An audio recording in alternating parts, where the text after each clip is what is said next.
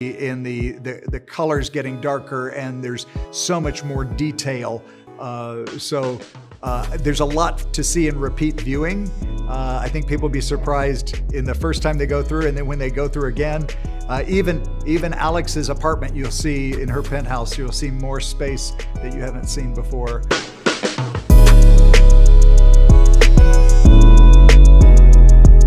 Hi, Nelson. Hello, how are you? I'm doing fine, and you? Doing great, thank you. Thank you so much for your time. A pleasure to talk to you and to talk about the morning show season three. So very excited. so you work on season one, uh, season two. Yes. So now you moving to season three. Can you talk a little bit what changed from one season to another? Well, uh, for one, uh, we were filming season two during COVID, so it was a, a vastly different production situation, uh, fully masked and having to work in pods. So, uh, and, and, we were creating sets that looked like they were all over the world and never left Los Angeles. And uh, so, one of the big differences this season uh, was even though we were still under a certain level of COVID protocols, uh, it, we were able to travel and go places. We actually uh, got to film a week in New York, uh, and we did uh, a little bit uh, outside of LA as well. So that was a little bit different.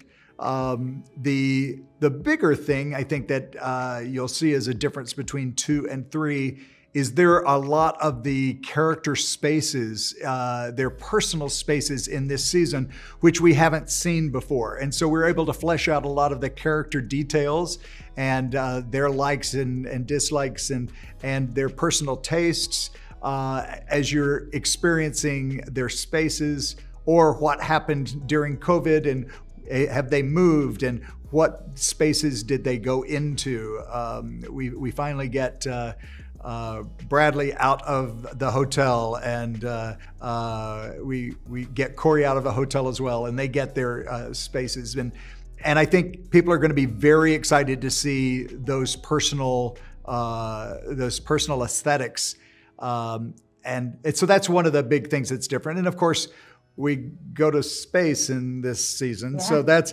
that's so different too. Uh, there's some other surprises later on that are that are awesome as well. But uh, uh, I think that complexity, the darkness, um, I wanted to have uh, just a, a complex uh, web of. Uh, almost deceit that you see in the, the, the colors getting darker and there's so much more detail. so uh, there's a lot to see in repeat viewing. Uh, I think people will be surprised yeah. in the first time they go through, and then when they go through again.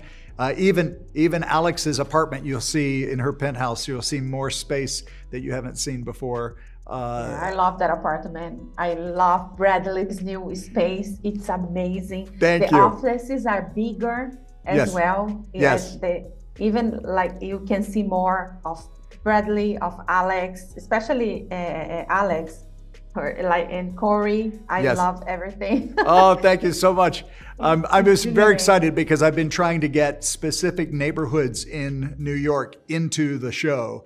And there's not always something in the story that would lead you to go to those neighborhoods. Uh, but uh, for me, Tribeca and Soho have always been uh, places I've loved in New York, as well as down in Brooklyn Heights. And we've gotten those into the show this season. Um, and I think people are going to uh, be really surprised that uh, you know Bradley's uh, her her amazing loft is is actually on stage at Sony. You know. yeah. Did you have to re- recreate anything here in LA like you did for last season, you recreate Lake Como. Did you have to recreate something similar to that or any other space? Like we we had some things. You know, we have uh, a lot of uh, Jon Hamm's character. Uh, uh Paul Marks is in Texas, so we were having to do a lot of Texan scenes uh, here. Uh, there there are various other places, not as not as identifiable as Lake Como per se, but Ironically, some of the things I had built to make Los Angeles feel like New York, um, some of those set pieces I actually had to ship to New York when we were filming so that those areas of New York would look just as much like New York as we were doing here. Amazing, amazing, Nelson. This is the time that I have with you. Thank you so much for your time. A lot of success. And Thank you. I, I, need. I just need to say that I love in the Heights, so I love your oh. production oh, design there. thank you so much. Thank you so much. I Bye. really appreciate it. If you like this video, don't forget to comment, to like, and subscribe to our channel right here.